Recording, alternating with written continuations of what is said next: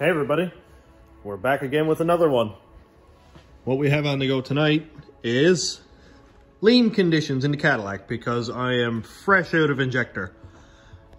When I get into boost, everything goes like 40% uh, lean on the histogram and that's not fun. That's no good. So we need injectors. And if you're anything like me and have no money but want to go fast, let's do it cheap. So these are ones that I already have done. Here we are. These are decaps. And I wrote on each bag because of course when you decap injectors, you're gonna get different readings or um, different flow rates, sorry. And according to what I have written here, these are 130 pounds per hour, which is ridiculous. So I'm gonna test these again. But I wrote it there, so, you know, check it out. But I figured I'd make a video because I'm going to decap some more anyway. These are stock truck injectors, uh, 9906. The regular, I think it's like Delphi connector it's called. I might be wrong on that. Correct me if I am. So I'm going to haul these out of the intake and decap them. And then later on down the road, I will flow test them. And I also make a completely free and sort of dumb flow test bench. So that'll be a future video.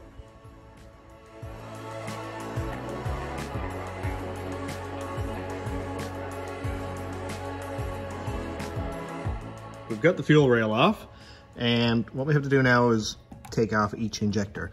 And these injectors have these little locks, these little gray tabs right here. So in order to take this off, we have to pull up on the lock. That comes off, throw that over here. And there's a little pinch tab right here that you just hook your thumb on it and then pull and unplug. You can see the tab right here. When you push, it opens up comes off that little lock that's right there. Next step is to remove the locking tab here that holds the injector to the rail. So just kind of hook your finger in behind this and pull it open.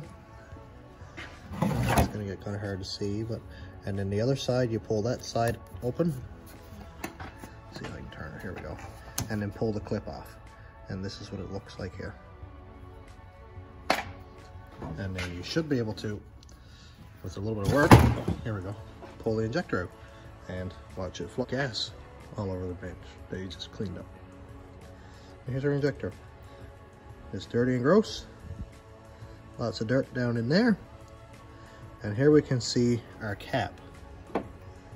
This is the part that we're going to remove. If I can get it to stand up straight. See this part here with the four little tiny holes in it? Notice how that's not on this one. And you can see some pretty healthy grinder marks on it.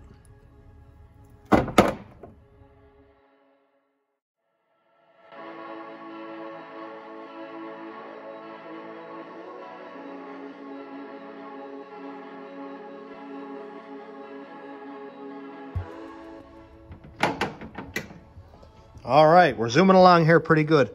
So what we have to do now is remove this plastic cap and the rubber O-ring from the injector. That'll allow us to get at the cap in here that we need to remove.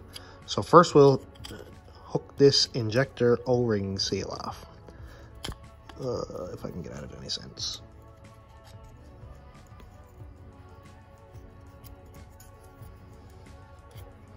Okay, that's off. Now we got room to get at the back of the cap. And this can be a bit funny, but I just like to hook my finger under here and then pry up on it. Let's see if I can do this any sense. These can be tough and you might have tried them a couple times.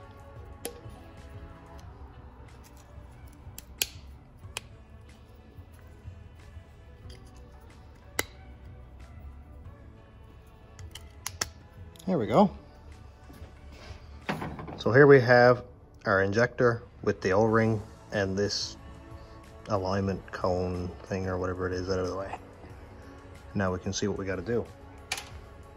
So we can see that this cap here is fusion welded on. You can see where the ridge is around like right there. So what we're going to have to do is put the injector up against the grinder wheel on like a say a 45 degree angle and move the injector around in a circle until we have it grinded away enough that the, this uh, cap will actually fly off.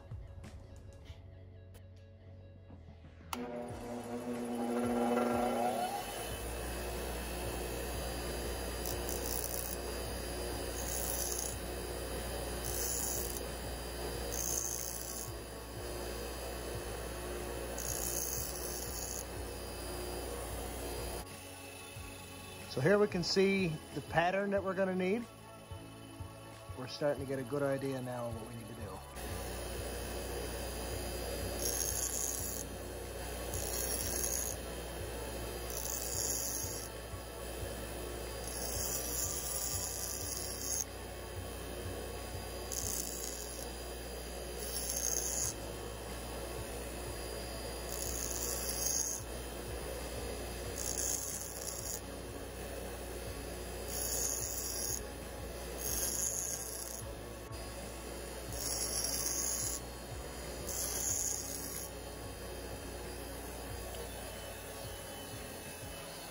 Okay, I don't know if we're gonna catch it in the video, but here, if I can get it to focus, here is our injector with the cap off.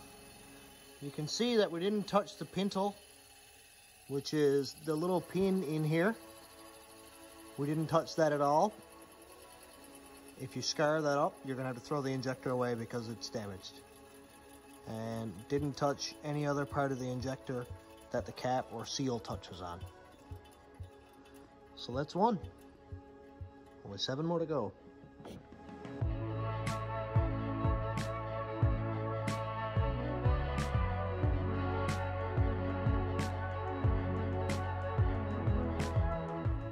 And here we have our new decapped injectors.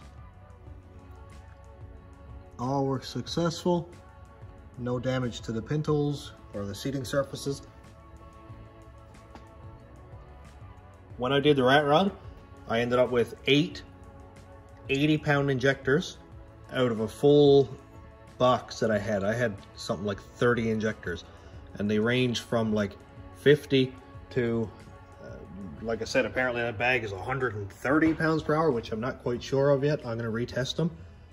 In the next video, I'll be making a test bench out of one side of these rails, four measuring cups, and a timer, and a fuel pump with a, a fuel pressure regulator on it. And it's gonna look just as ridiculous as pretty much everything else I do. So it's gonna be kind of cool. So that's gonna be it for another video. Hope you enjoyed it. This is one of my shorter videos and there's gonna be lots more to come in the future. Every time I touch the Cadillac, I end up having to do more work on it. And it means more videos. So if you liked it, consider hanging around. Thanks. Have a great day.